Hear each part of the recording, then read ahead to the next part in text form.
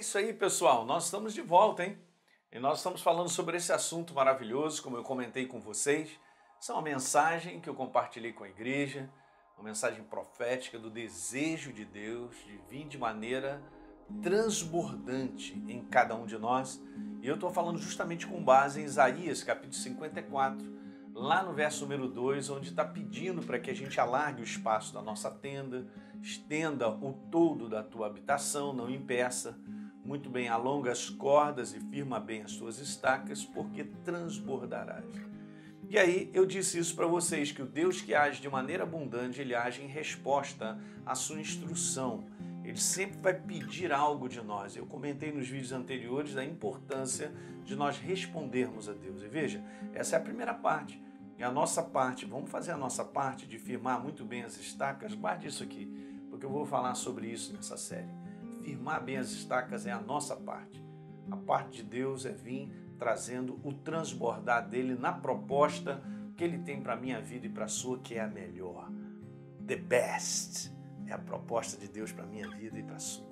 Então a gente colabora nesse preparo para transbordar e como eu tinha dito no último vídeo, o foco é esse, uma construção do homem interior, construirmos uma vida interior mais ampla.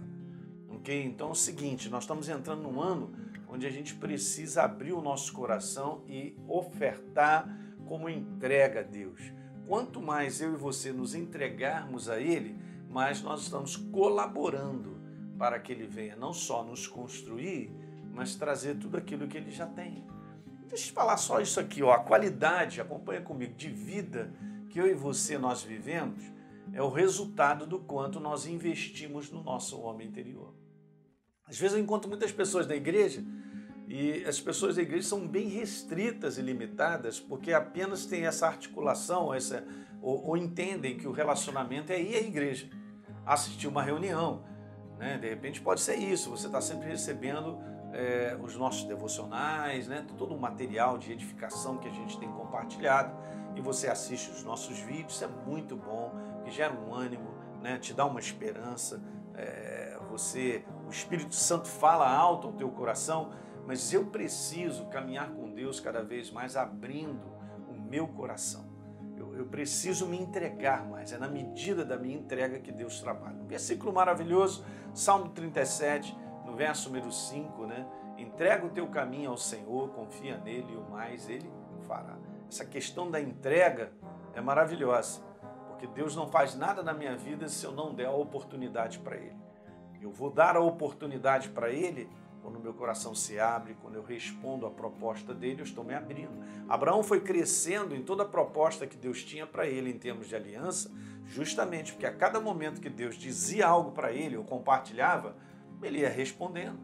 Ok? Essa é a nossa dificuldade, a limitação humana, essa coisa carnal nossa, ela é difícil, ela é chata, ela impede de nós avançarmos e respondermos de maneira mais própria ou numa prontidão né, mais rápida mas isso é uma verdade. Então, eu vou começar a compartilhar com vocês a respeito disso que ficou no meu coração, voltando rapidamente lá ao versículo, né, falando sobre firmar bem as estacas, sabe?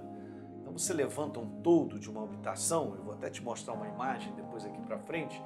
É muito interessante porque o todo ele fica ali, ele tem aquele, é, aquele propósito né, de ter um ambiente maior, onde possa recolher né, qualquer coisa, ou até mesmo pessoas, né, é, o nosso interior ele precisa estar levantado, ele precisa estar de pé, ele precisa estar numa expansão é, suficiente para que Deus ele venha trabalhar.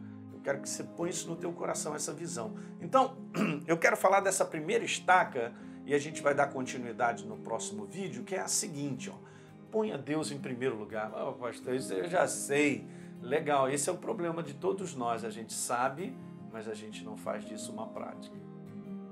E, gente, vou te falar, eu tenho, eu tenho pensado em coisas tão simples que Jesus disse que o homem que estabeleceu a sua casa sobre a rocha, ele cavou profunda vala e ele estabeleceu, e aquela casa no dia da enchente, da tempestade, no dia da chuva, ela não caiu.